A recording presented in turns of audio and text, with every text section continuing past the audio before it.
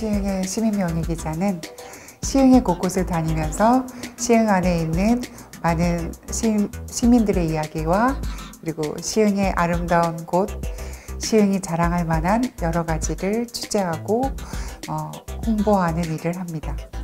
어, 제 주변 친구들이 이제 다 청년이고 이제 대학생들인데 이 친구들이 시흥에서 하고 있는 청년들의 정책을 잘 모르는 경우가 되게 많았어요.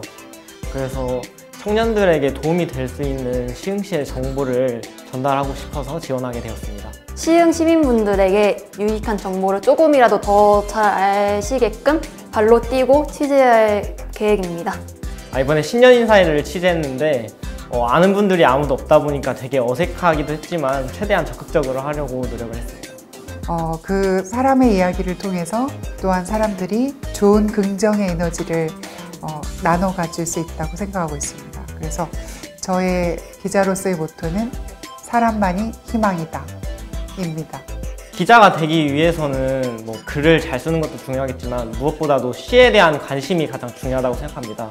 기자는 발로 직접 뛰어다녀야 하기 때문에 적극적이, 적극적으로 참여해 주시는 게 가장 중요한 것 같고 만약 지원을 하시게 된다면 네, 망설이지 마시고 지원해 주셨으면 좋겠습니다. 글을 잘 쓰지 못해도 어, 자기만의 생각으로 소신 있게 있는 그대로의 팩트를 다른 사람에게 잘 전할 수 있으면 기자가 될 수 있다고 생각합니다.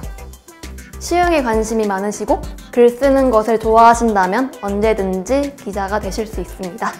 할머니가 돼서도 시흥의 오랜 세월의 역사를 다른 사람에게 이야기해 줄 수 있는 그런 할머니 기자가 제 꿈이에요. 그럴 때가 될 때까지 좀 더 매일매일 노력하는 그런 기자가 되고 싶습니다. 저희 시민분들께서 저희 뷰티풀 시흥에 많이 관심을 가져주셨으면 좋겠고 그런 관심이 저에게 힘이 돼서 좋은 기사를 쓸 수 있을 것 같습니다.